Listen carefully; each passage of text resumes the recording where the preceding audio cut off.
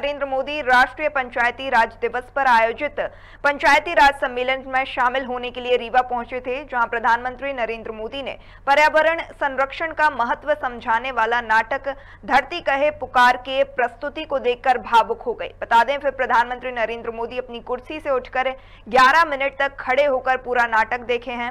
मंच पर बैठे गेस्ट समेत वहाँ मौजूद जनता खड़ी होकर पूरा नाटक देखी है। यह नाटक कलाकारों ने सात दिन तक दिन रात एक कर तैयार किया है। इस दौरान प्रधानमंत्री ने सभा को संबोधित करते हुए कहा कि हमने देखा कि कैसे हमारी बेटियों ने धरती माँ की तकलीफ़ के बारे में बताया।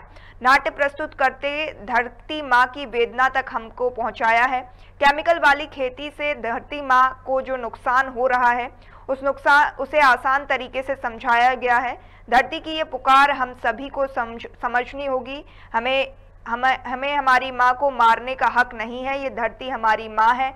मेरा आग्रह है कि पंचायतें प्रकृति, खेती को लेकर जन जागरण अभियान चलाएँ।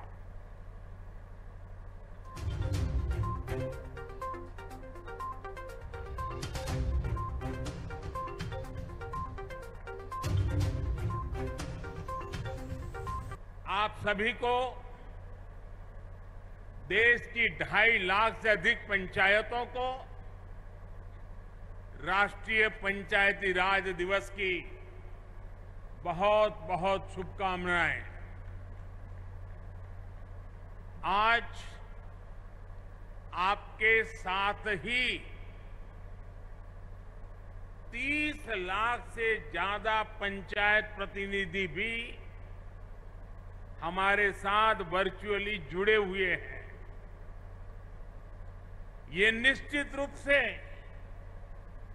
भारत के लोकतंत्र की बहुत ही सशक्त तस्वीर है। हम सभी जनता के प्रतिनिधि हैं।